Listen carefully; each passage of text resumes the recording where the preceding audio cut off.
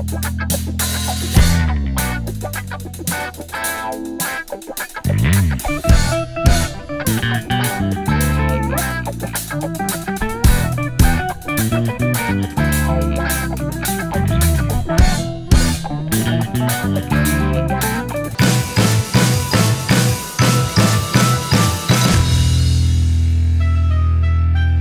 guys and World Wide Web.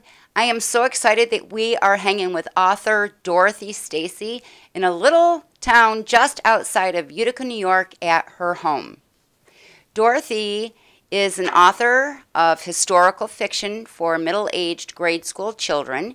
Dorothy wrote such books as The Erie Canal Cousins, Three Weeks in Utica, Albany Homecoming, just to name a few. So, today we are hanging with Dorothy to talk about her latest book and uh, meet Dorothy, the mom, wife, grandmother, and career woman. So thank you, Dorothy, for hanging with us. Um, so Is this is your now? latest book. This is my latest book, and it's called Holman City Mystery. It's about a basin, a gigantic basin that is located on Holman City Road, uh, belonging to, um, can't think of his name. but anyway, it's on his property, and it was uh, supposedly caused. Well, I don't want to give the whole story away, so I can't really tell you what caused it because through the book, the boy is trying to find out the reason for it being there. And this takes place in 1858, so he's um, doesn't have all the modern things to find out stuff about. He doesn't have computers or anything like that, so he has to go and search for these books and find ways to determine just exactly how the basin was caused. And uh, a lot of this, a lot of the investigation causes him to actually get into reading and writing, which is something that he hated and he really didn't like very much. But uh, in order to find out, he has to keep records and do all this stuff. So this is the story of how he actually finds out how this uh, basin was created. So there's three theories that he starts out with: the Ice Age theory, the um, let's see, what's the other one? Um, there's another one, but I can't remember what it is. I've written so many books that it's hard to remember all these little tidbits. But anyway, um, the the last one is uh, some kind of an explosion, which he comes up with. I had to sort of sneak it in somehow because they really didn't know about things like that in those days. But um, I had a way. I found a way to get it in there, and so that he could um, come to that determination. And uh, my son did the cover. He's an artist, Patrick Stacy. Um, he likes mostly likes to do cartoons, but he did this as a favor for me. So my children are very talented artists. Art kind of runs in the family, and I did all the illustrations inside of my. So Dorothy, tell us what is your least favorite part of the publishing and writing process? The hardest part in publishing was the first book because I really didn't know anything about it, and I had to learn um, from a manual from a printing company, and it was Morris Publishing, which is very, very helpful. So I would encourage any new writers that are interested and to go and get their manual because they tell you from start to finish how to finish. Now this is not a plug, but you know, they were very good and they've published or printed all of my books for me. I actually do the publishing myself because I've started um, my own publishing company called Blackberry Hill Press, and I only do my own books though. I've had, uh, you know, people have asked me if I would do theirs, but I only have I only have time to do the one. Um, the hardest part, well, that was the hardest part. Now I am pretty familiar with the publishing process, so that's not too difficult. The hardest part of writing the book for me is the middle, because at the end of each book, I always come up with the first line for the next book. It just sort of hits me right in the head, and I uh, write that maybe the first six or seven lines uh, before, or maybe even paragraphs before I get going uh, to leave off of that other book. So, in the end, um, the end usually comes to me. I don't really plan it out like in steps and make an outline of the whole thing. I just kind of go along, and the, then the characters start talking to me, and they tell me. Sometimes I have something in mind, and they tell me they want something different. And I have to go by what they want, and they tell me such things as like the first book. Um, my one of the characters, the boy in there, told me that he didn't know how to read or write, which like, okay, you don't. and he told me about you know his coming from Ireland and um, being an orphan because his parents were uh, killed in an epidemic. So he was on his own, and he ended up being the hoggee on their boat, which uh, was good because that boat was owner was a good.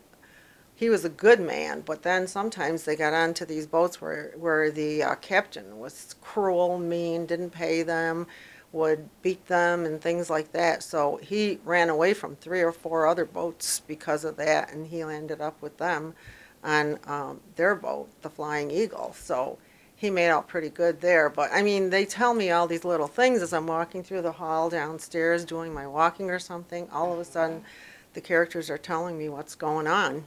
Oh, so that's pretty interesting. Yeah, and then the middle is hard because I have to make sure that, you know, the, the beginning and the ending come together. Now, I know some people say the beginning is hard for them, but it really isn't for me. Uh, what do you consider to be your uh, best accomplishment? My best accomplishment is my eight beautiful children, Oh. and after that, my eight beautiful books. um, just as you may inspire other authors, what authors have inspired you? Why did you want to become a, an author? Ah, I've always wanted to become an author from when I was seven years old.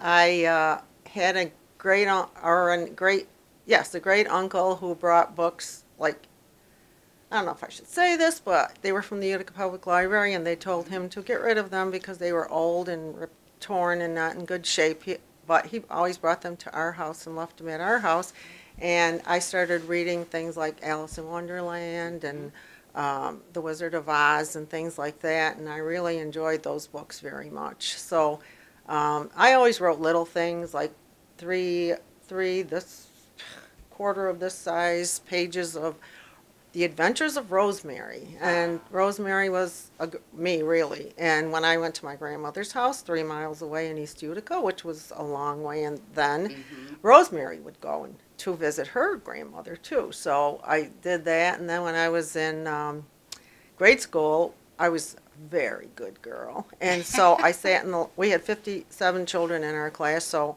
myself and another girl, we sat uh, together in the last seat in the class. So her and I both like to write, so we would each write. We were writing um, soap operas, and during during class, and then we would switch and um, and put them on the seat between us, and we would read them to uh, you know, and then pass them back and write some more. And we did this all through. I don't remember which grade it was, but it was a lot of fun, and um, you know, we did that, and then.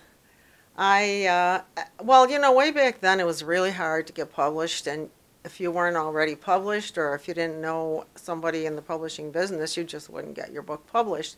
So when I got married and had kids, I decided, well, I don't know if I'm gonna. I started to write like uh, short stories and things, and I tried to submit them, but you know, it just didn't work out. So after a while, I kind of got discouraged because I had so many things to do with the kids and everything that I uh, didn't get into it um, after that. But I always had like a little something going, a diary or um, something like that, that uh, I made use of my writings. And then um, when my kids grew up, I went to school because I decided I wanted to be a teacher. So I went to school for um, nights, one class at a time. And I volunteered at Sauquoit to teach their preschool, which they, it was a volunteer thing, and um, they told you what to do and everything. So it was easy, and I loved it. So I thought, well, I'll just get a two-year degree and go and work in uh, nursery school. So I got the two-year degree, and then I just couldn't stop because I love learning and reading and things like that. So then I went to, um, uh, got my four-year degree from Empire College, which is uh, college without door, without um, walls, And uh, then I wanted to get my master's degree, which I never thought I would do. And I got certified for teaching and all that. And then I taught probably for about 13 years. Then I retired, and uh, then I said, ah, this is the time. And my uh, first grade class, we went on a trip to uh, the Erie Canal Village, and, which is no more, but um, you could ride on the packet boat. And, and then I saw the movie.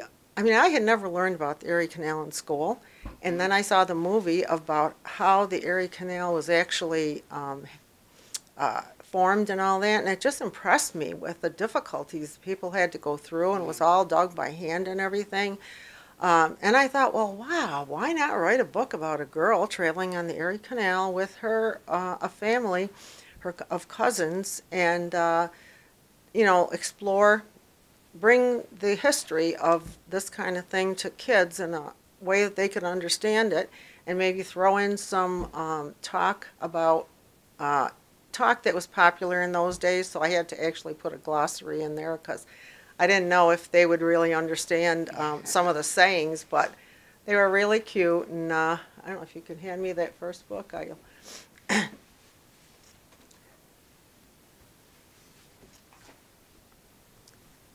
this was um, the first book that I wrote, and it uh, has a lot of of terms about technical terms about the canal, the boat, the ship, and how it was actually uh, how life was on a day-to-day basis and what they did. Um, and this girl is very, very shy, so she gets on this boat with this boisterous group of cousins, and especially one girl, Bridget, who is um, a little bit younger than her, is the terror of the boat, and they just do not get along, and they just fight through the whole book. Um, at the end they sort of become friends, but um, you know, there's always that little hesitation there because she never knows what Bridget is going to do. and one time, Bridget uh, pretended she was drowning. She she jumped in the water. She stood on the edge of the boat and she said, "Let's play a game. Let's see how close we can get to the edge of the boat." And this other girl, um, she just didn't want to do it. She said, "Uh-uh." She goes, "I'm not doing that." And then she kept edging her on and edging her on, and finally she pretended she fell off the end of the boat. And she yelled that she was drowning, I'm drowning, I need help, I need help. And so, of course, the other girl runs and tells her mother that this girl is drowning. And the mother starts laughing, and she goes, Why are you laughing? She says, Bridget can swim, and the, canal is only four feet deep. She's not going to drown in there.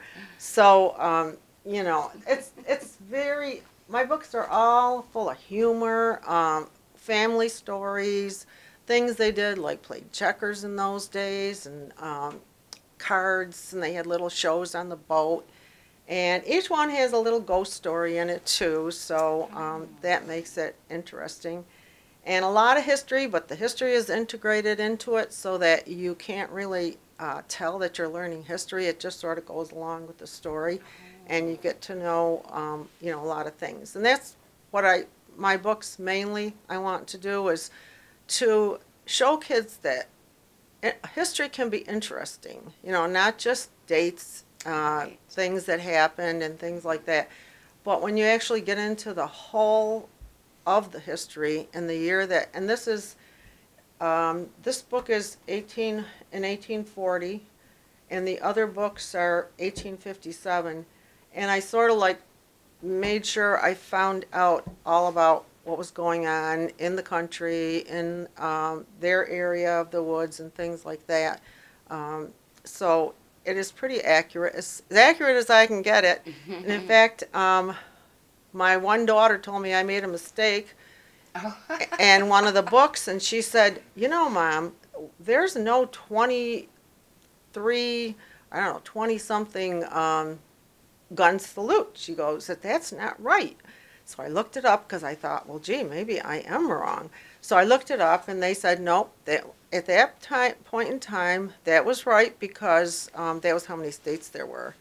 But as they got oh. more states, they had to change it and, you know, have it different. But ah. so, and then I almost made a mistake in another book by saying in school they did the Pledge of Allegiance which they would never have done in those days because it wasn't even around until the late 1800s. so thankfully, I was able to correct that mistake before the book went out. But um, yeah, it's fun. I really enjoy it. I am not in the process of writing anything right now because I'm hooked on ancestry, looking up my ancestors and things like that. But I will probably write at least two more books in this series because I wanted. There's two more towns left that I haven't focused on yet. So Oh, Um, so there's maybe something coming in the future. yes, you never know. Very good. Where can someone find your books? Well, Barnes and Noble um, and Amazon on the web. I they Barnes and Noble used to carry them all, but I don't know. They sort of changed hands with uh, um, their uh, community representatives, and it, this one is works differently than the other. But I did have a book signing there with a group in uh, October, and I did sell like about they're almost 30 books, so. I've had several book signings at Barnes and Noble, like one from separately when I had the other books, and let's see where else. Um, uh, Riley's Dairy down here carries them. Um, not they don't have them all right now because I didn't get there with the new one yet, but they're very accommodating. And um, my distributor is North Country Books. Well, we're still, we're good? Okay. So you have a beautiful, beautiful home. Mhm. It's about 200 years old. 217 years old. Uh, being a historian, have you done any history on your house? Yes, my house was uh, built by the first settler in East Sauquoit, and he actually owned all of East Sauquoit at one time and sold off parts of the property. Um, his name is Spencer Briggs, and he, uh, let's see, he had, I think he had a little log cabin, my husband thought, anyway, down by the road first, and then he built this house. Um, it was modernized in 1905, and all the chair railings were taken out, and all the old-fashioned windows were taken out. My husband had a fit, and we we put the chair railings back in again. Except for the fact that the house has lath and plaster in between, and the first winter we came here, we almost froze to death. So um, he insulated it on the inside, and now it- you know it's a lot better You've lived here a long time? for uh, almost 40 years. Oh. I we moved the day before I had my last son. oh my I didn't do any moving. I just did. Um, I sat, and then I said, when I get home from the hospital, I just would like to have one li- couch in the living room clean that I can sit on with the baby, and that's it. so they did. So you love photography. Yep. Do you get ideas for your illustrations from taking your photos? Yes, some of them, um, like, let's see, I think, um, the one book over there, uh, the, I did the Doolittle Schoolhouse, um, it's the first one, the fir- the blue one. No, the other one. Town Fair. Just give me both of those. Yeah, this one. Yeah, I think this is the one. Yes, because they go to the Doolittle Schoolhouse. Well, this is the boy and the girl that I drew, and then you can see like Oh. my son did not do such a good job on the first book. I don't know if that's crooked or not, but, but, uh, those, that's the twins, and they are the second, um, the second ones. And the, I put the bigger picture in the back of the, this is the Paris Hill. I always have a map of, in my books Oh, of so Good. this is Paris Hill, where the story takes, part of the story takes place, and where they go for their celebrations and things like that. This is my second series. And this is, I just love the way that you incorporate the fiction into, you know, real history. I think that's pretty clever. that, I wouldn't write any other, and I like to read historical fiction. I read The Outlander and, you know, that whole series, which was so long. All right, where is that picture now? It's hiding here someplace. I have a small one on the front page, but I know I have a big one back here someplace.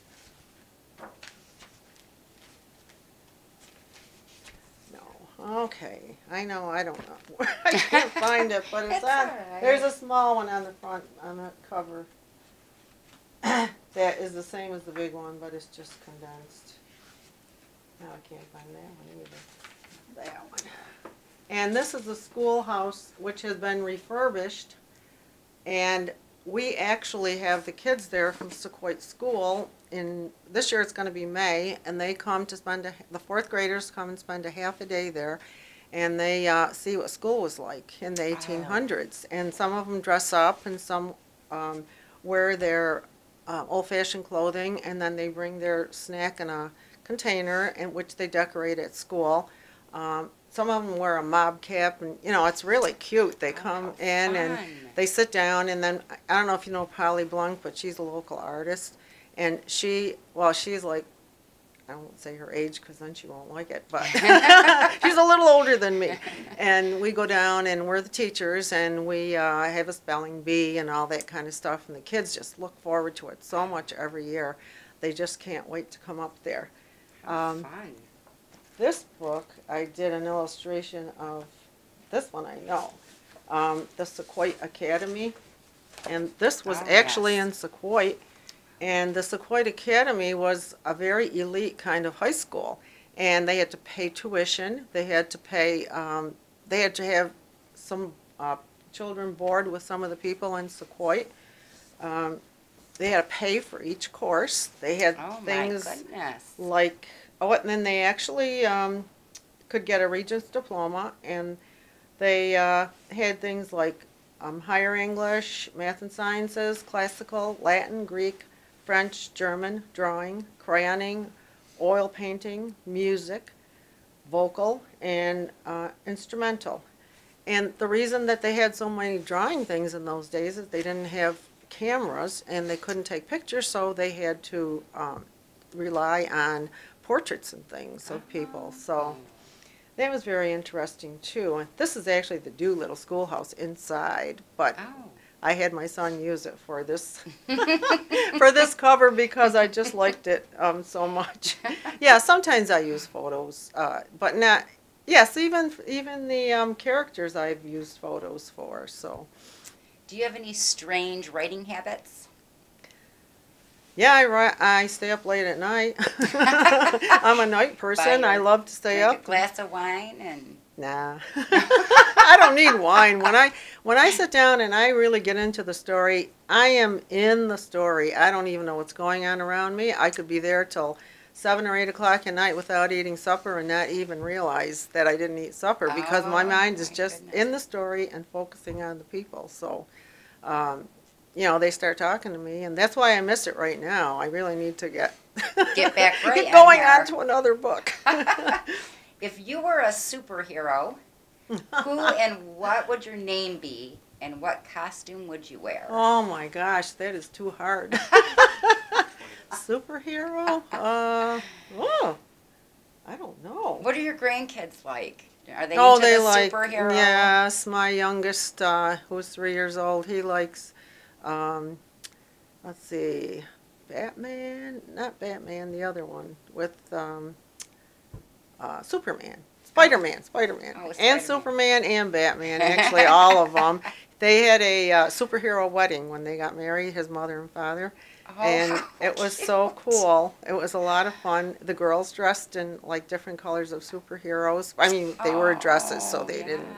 It wasn't disrespectful or anything, but um, Oh, how nice. That's Mhm. different. So what's coming up for you? Anything? Well, I have a signing at the uh, Gems Along the Mohawk, July fifteenth, and um, this will be the bicentennial of the beginning of the Erie Canal, which actually took place on July fourth, eighteen seventeen. I'm also open to anything to do with the Erie Canal, any kind of celebrations. If anybody wants me to come, just give me a call. I'm also going to be at the Interlaken Historical Society for their Transportation Day on September 9th. This is 20 miles south of Seneca Falls, and I will be doing a presentation called 15 Miles on the Erie Canal, which will sort of be on um, Life on the Canal, because um, this is a transportation day. And I will, I have a PowerPoint that I will probably show, and I have several different kinds of programs, you know, that I do. Besides that, I do one on, um, early schooling in, in this area, and, um, how I became an author and seven other things, and that one's kind of a funny one about my life, so. Well, guys, it has been so much fun hanging with Dorothy Stacy today. Don't forget to hit that like button and leave a comment and let us know what you think of today's show and our guest. You can also check the guest link below. Remember to subscribe and log in and stay tuned to see who we're hanging with next.